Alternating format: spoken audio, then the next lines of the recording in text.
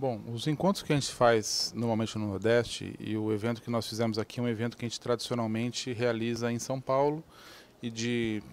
quatro anos para cá temos realizado também o mesmo evento no Nordeste. E esse evento tem sido realizado por conta da grande demanda que a gente percebe, do grande crescimento que o mercado tem na região. E certamente o crescimento de acesso é, é, é a primeira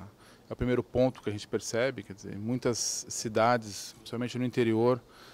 a gente nota a falta de infraestrutura de telecomunicações, então boa parte dessas empresas, elas têm que construir as suas redes de telecomunicações, porque não existe outra, nós, estamos, nós não nem falando de competição, nós estamos falando de ser a primeira empresa a construir uma infraestrutura para acesso nessas regiões. E aos poucos a gente percebe já que metade dessas empresas já estão entrando no, no segundo passo, que é uma etapa que se observa muito no interior de São Paulo, no interior de Minas, em regiões onde a penetração dos serviços começa a aumentar. Que as empresas começam a enxergar alguma coisa além do acesso. Dizer, o acesso está cada vez mais virando commodity e as empresas têm que pensar em agregar algum outro serviço para os seus usuários. É, inicialmente se pensa muito em, se fiz, em montar combos, né? você agregar telefonia, agregar TV por assinatura, mas há uma onda muito forte de se agregar hoje em dia é, serviços de valor adicionado. Quer dizer, é, o que, que o meu usuário especificamente precisa, é um serviço corporativo específico para empresas, é uma prestação de serviço para os governos, é, enfim, é, toda uma gama de serviços de valor adicionado estão sendo verificados para aumentar o valor desse acesso, porque a gente sabe que num, uma projeção futura aí, só o acesso não vai gerar sustentabilidade econômica para essas empresas. E a gente tem percebido isso com cada vez mais clareza é, à medida que a, as redes de telecomunicações ficam mais desenvolvidas nas regiões e que a competição efetivamente aumenta. O senhor volta a São Paulo agora para reunir com, com, a direção da, Abranet e pensar com a, a, curto e médio prazo qual é, como vai ser as medidas que vão ser tomadas para poder eh, realmente tentar evitar um mal maior aí regulatório? É, a gente tem acompanhado muito e o, hoje em dia o que impacta diretamente essas atividades, quando nós falamos de operadores de telecomunicações, pequenos operadores de telecomunicações, o grande impacto é o impacto regulatório que traz, na verdade, junto com ele, o impacto tributário. Né? Quer dizer, é, são empresas que é, são submetidas a uma carga tributária e a um esforço regulatório muito grande. É, houve uma mudança recente na regulamentação do serviço de comunicação multimídia, mas essa regulamentação basicamente tornou mais fácil a solicitação da licença. Mas uma vez solicitada a licença, o, o, nível de obrigações, de detalhes que essas empresas são submetidas não mudou significativamente. Então tem muita empresa que tira facilmente a licença de SM, mas não tem muita noção das obrigações que ela está assumindo ao assinar lá o seu, o seu termo de, do serviço de comunicação multimídia. Então essa acho que é uma, uma preocupação inicial.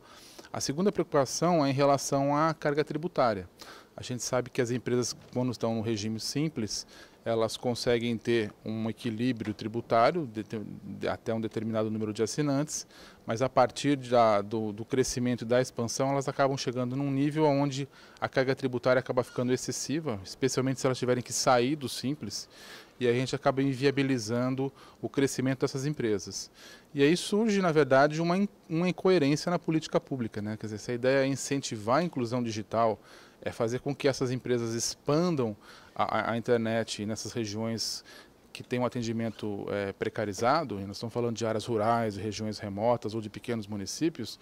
à medida que essas empresas crescem, se tornam mais eficientes e ganham uma maior base de, de clientes, elas acabam sofrendo uma grande penalização, porque elas acabam rompendo o limite da tributação do simples e tendo uma carga tributária muito alta. Então, acho que esse é um ponto que ficou para a gente refletir dos debates, né, até que ponto a política de inclusão digital está em desacordo com a política tributária é, que o governo coloca. Então, acho a Abranet pretende conversar com o governo em relação a essa questão, quer dizer, em função de que, já que o governo foi tão tão sensível uh, aos pedidos das, das, grandes empresas de fazer desoneração de impostos, é, é até, até criar incentivos para a construção de redes, seria o caso também agora da Abranet buscar o governo e pedir para ele rever essa questão do Simples, por exemplo? Sim, nós vamos estudar, nós vamos avaliar, em primeiro momento nós vamos pegar os números efetivamente para saber aonde é esse ponto de ruptura, quer dizer, qual é o valor médio cobrado para essas empresas, qual é a base de assinante que essas empresas têm, e a partir daí a gente é, checar esses valores e pleitear realmente uma flexibilização, uma, alguma modificação de limites para, obviamente, atingir o grande objetivo, que eu acho que é o objetivo do empresário, é o objetivo do usuário, é o objetivo do governo, que é de massificar o acesso à internet.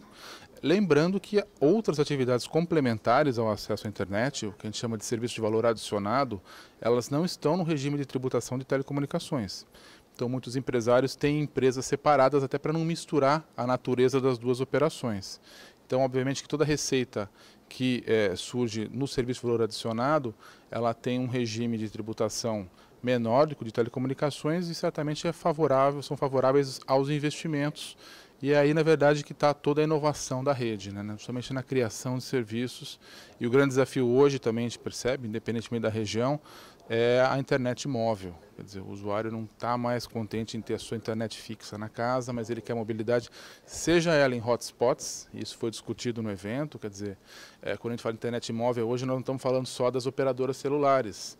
que por sinal não tem capacidade suficiente para atender a demanda dos usuários em 3G e não tem em 4G também, se nós continuarmos com esse crescimento de vídeo sob demanda e de aumento de dispositivos. Então até as próprias operadoras celulares hoje estão fazendo uso do Wi-Fi, que já era uma tecnologia bem conhecida dos provedores. Então muitos provedores enxergam nisso uma grande oportunidade de criar os seus hotspots, as suas redes de hotspots nos seus municípios e futuramente até quem sabe vender essa capacidade para as próprias operadoras celulares para fazer o Wi-Fi offload.